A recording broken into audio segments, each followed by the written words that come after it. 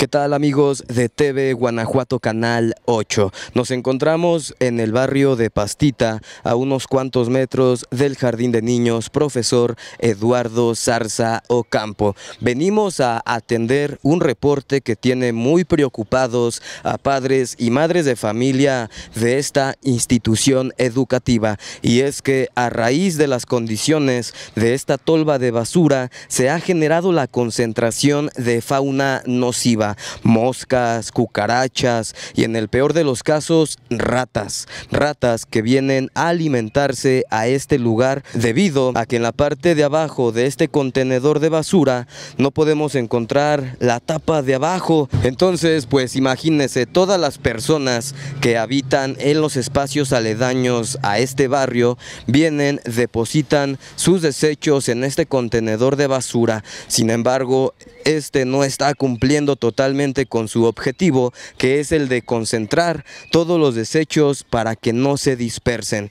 Como le comentamos, en la parte de abajo de este contenedor, la, la tapa inferior desapareció. Entonces las personas vienen, tiran diversidad de basura, basura doméstica, basura sanitaria, entre otros desechos orgánicos, lo cual pues va generando este, este esparcimiento de diferentes desechos orgánicos e inorgánicos que son aprovechados por las ratas para alimentarse.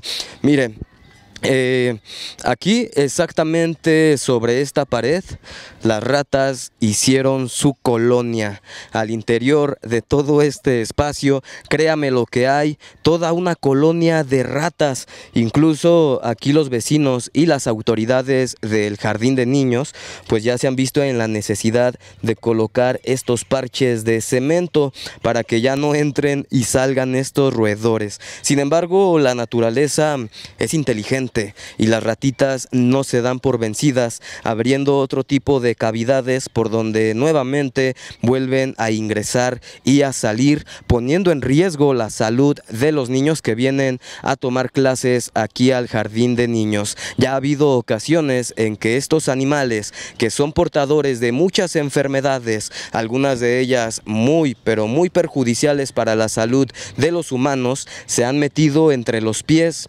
aquí de los padres y madres de familia que están esperando para recoger a sus menores hijos. Es de ahí la importancia que primero pues el municipio a través del área de servicios públicos municipales se dé a la tarea de revisar las condiciones de estos contenedores porque no se trata nada más de poner un lugar que vengan los de la basura y se la lleven, sino que se trata de dejar todos estos espacios a su alrededor en buenas condiciones, que no representen un foco rojo para la salud de todas las personas, no solamente de, las capitalinas, de los guanajuatenses, sino también de los visitantes que vienen al Museo José Eduardo Zarza Ocampo a conocer esta exposición de arte. Los trabajadores del sistema de recolección de basura tiran lo que no es de su interés para la parte del cauce pluvial.